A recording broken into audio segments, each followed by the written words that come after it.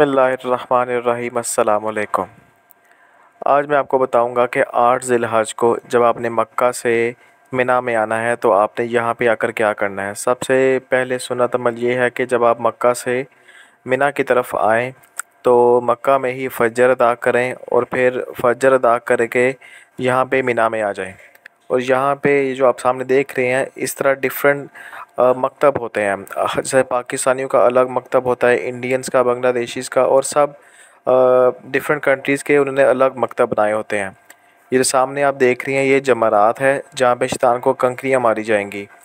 जब आप फजर के वक्त मिना में आते हैं, फजर पढ़ कर अपने होटल से तो मिना में आकर आपने पाँच नमाज़ें अदा करनी होती है, यानी ज़ोहर की, असर की, मगरिब की, इशा की और अगले दिन फजर की। और फिर अगले दिन फजर यानी नौ ज़िलहज को आपने जब सूरज निकल आएगा, तब मीना से निकलना होता है और अरफात की तरफ़ जाना होता है। यहाँ पर आपने एक दिन सिर्फ़ यहाँ पे आकर नमाज़ अदा करनी है और सुन्नत तरीका तो यही है कि यहाँ भी आपने मुकम्मल नमाज़ अदा करनी है, लेकिन यहाँ भी कुछ फ़िकी अतलाफ़ात हैं जिसकी वजह से कुछ लोग कसर नमाज़ अदा करते हैं और जहाँ के जो भी मुकामी हैं वो सारे मुकम्मल नमाज़ अदा करते हैं। और ये मीना के अंदर के कैंप का है। ये कैफ़ेटेरिया है जहाँ पे खाना वगैरह तैयार हो रहा है। और इस तरह के डिफरेंट जगह पे हर मकतब में दो तीन कैफ़ेटेरिया होते हैं, जहाँ पे जितने भी लोग मीना में उस कैंप में रह रहे हैं, उनके लिए खाना वगैरह तैयार होता है। यानी तीन टाइम आपको यहाँ पे खाना वगैरह सबको सर्व किया जाएगा। ये देखिए, ये सामने और डिफ दाएँ बाएँ सारे, ये सारे कैंप्स लगे हुए हैं। यानी पूरा उन्होंने एक शहर नया तमीर किया हुआ है। वही मैं आपको आगे से भी दिखाता हूँ सारा। ये सामने मकतब नंबर सेवन है और जिस मकतब की मैं आपको वीडियो दिखा रहा हूँ ये मकतब नंबर बीस है। ये पाकिस्तानियों का मकतब है और वो दूसरा मकतब बांग्लादेशियों का था।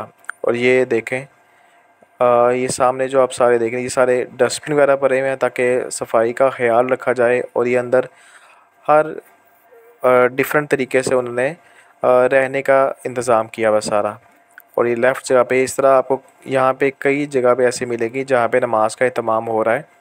एक पूरा उन्होंने मुकम्मल टेंट भी छोड़ा हुआ है जहाँ पे ज़्यादा लोग जमात के साथ अदा करते हैं और ऐसे छोटे छोटे टेंट्स भी रखे हैं जहाँ पे लोग अपनी नमाज़ अदा कर सकें।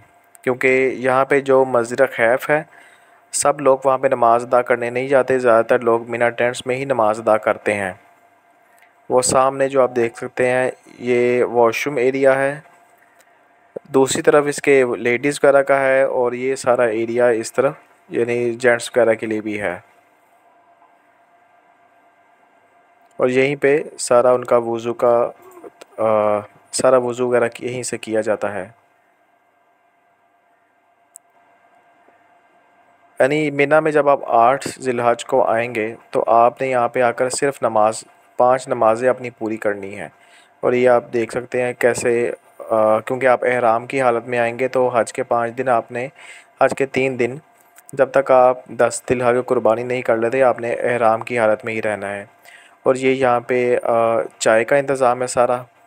इस तरह आपको ऐसे चाय के इंतज़ाम के लिए जगह जगह पर कॉर्नर्स पे आपको उन्होंने कैंप बनाए हुए हैं।